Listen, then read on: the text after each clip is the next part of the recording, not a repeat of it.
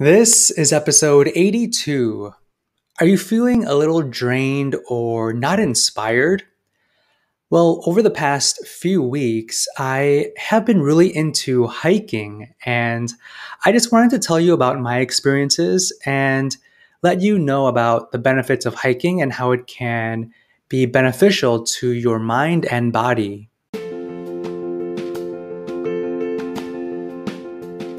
Welcome to the Calm Marketer Podcast. My name is Kenneth Fong, a digital marketer on a mission to help businesses thrive.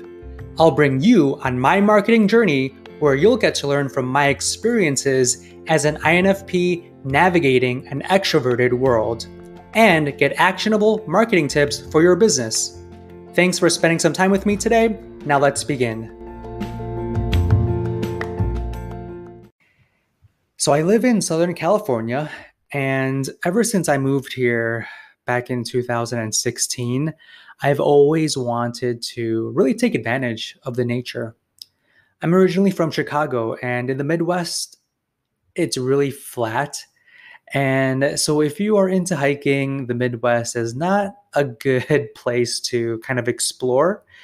So, ever since I've moved to California, I've always wanted to really take advantage of the nature that's around me. And, um, you know, I used to hike here and there, um, but never really too seriously or too consistently. Uh, but starting this year, I started to be a lot more consistent in finding places to hike and actually going there and, and hiking. So I've been to, I live in Chino, California. So I've been to Chino Hills State Park, which is a nice uh, area that has a lot of rolling hills. And it's really nice, especially in the springtime when the poppies grow and um, everything is really green. And so I've been to Chino Hills State Park. I've been to uh, Potato Mountain, which is in the foothills of Mount Baldy. And Mount Baldy is, I think, the highest peak in Southern California. So they have a nice trail uh, that leads up to Potato Mountain. And that's a really, really nice peak up there.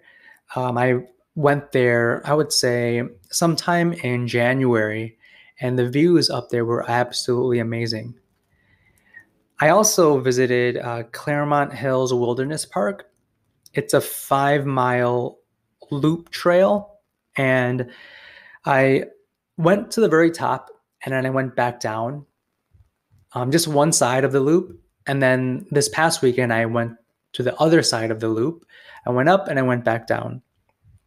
And I can tell you that just co- being hiking you know every, i try to go every weekend and it's been really beneficial i think to my mind and body and just overall my mental health you know? I think being out in nature and just working out in general really puts your mindset in a good frame and it just makes you happy and it makes you really feel accomplished.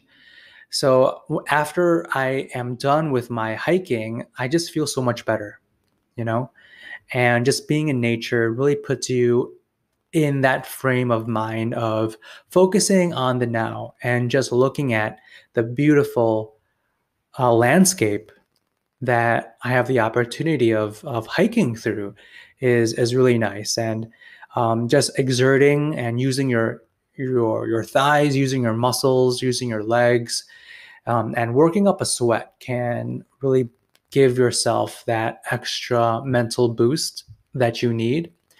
And it helps you just think about other things, you know. Um, sometimes you are so, I'm just thinking about work all the time and, you know, the different problems. But when you hike, you are more forced to, to think about what you are doing at this very moment. And it just helps you clear your mind and it helps you become a lot more um, I'm not sure what the exact word is, but I just become a lot more happy about where I am at. And it gives me the motivation, it gives me the new mindset to tackle challenges that are in my life.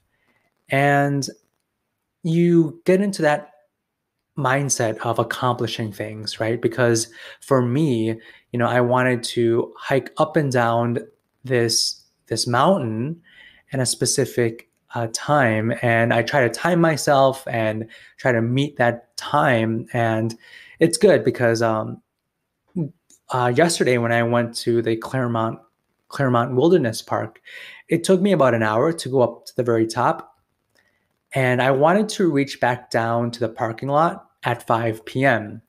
And it was 40 minutes until 5. So I had to really pace myself and kind of run down for the most part or walk really fastly. And I reached the parking lot in about 41 minutes.